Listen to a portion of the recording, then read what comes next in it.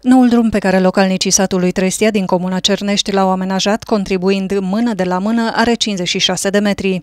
Drumul este unul de interes local folosit de locuitorii care au terenuri și păduri în apropiere.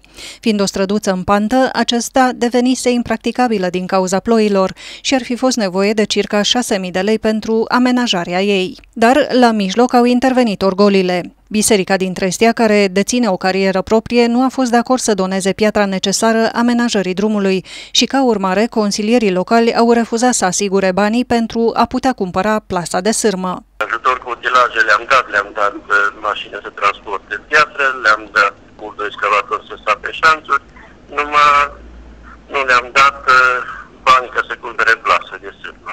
Și apoi de aici consilierii nu au fost de acord cu treaba asta, că am cerut și niște piatră din cariera bisericii. Și totuși ei, majoritatea consilierilor locali care și în, în Consiliul Parohial de la Trestea, o solicitată și să ne dea piatră din cariera bisericii. Unde s-a dat și pe vremea lui Șodea. Noi nu ne putem piatrui ulițele, că nu este piatră. Și trebuie să aducem piatră de la capul sau departe. Și au condiționat oarecum că ne dați piatră, vă dăm și bani așa, așa. Și apoi au fost de acolo și scârbă, scandal. Noi avem și alte uliți mai rele ca alea. Și apoi consilierii au hotărât uh-huh. că dacă ei nu ne dau piatră, ei nu le dau bani decât i-au dat utilaje să lucreze.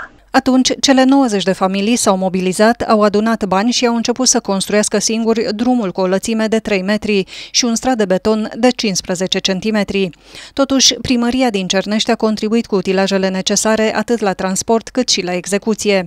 Fiindcă este o arteră de circulație secundară, primarul comunei spune că nu a fost nevoie de autorizație de construire, iar investiția este chiar și așa binevenită, deoarece primăria din Cernești are datorii de ordinul zecilor de milioane de lei și nu ar fi fost în prezent fondurile disponibile pentru construirea unui nou drum.